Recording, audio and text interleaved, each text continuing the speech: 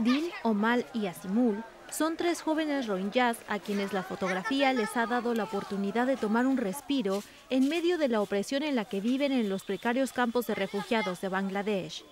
Ellos, como miles de rohingyas, sobrevivieron a la discriminación y violencia en Birmania y ahora usan su creatividad para retratar la vida en los campos de refugiados como parte de un proyecto de la ONG Fortified Rights, Doha Debates y Photo Evidence, que decidió publicar el libro Una oportunidad para respirar con fotografías y poemas de varios refugiados.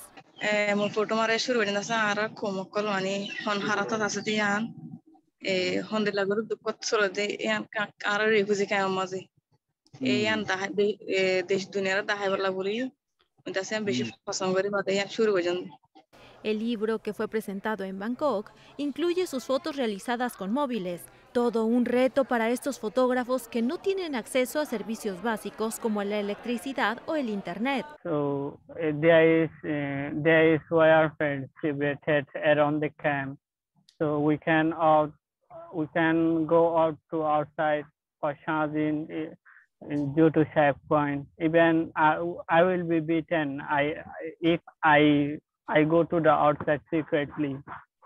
Las cicatrices aún siguen abiertas para muchos refugiados que recuerdan vívidamente los asesinatos, violaciones e incendios provocados por los soldados y militares budistas durante las operaciones militares de 2017, calificadas como genocidio. Sin embargo, muchos han decidido plantar cara a la situación y tratar de buscar un mejor destino. And after my graduation, I want to in I want to be a professional journalist and photographer. And uh, after being photographer, I want to be more women photographers in my community. That's my hope.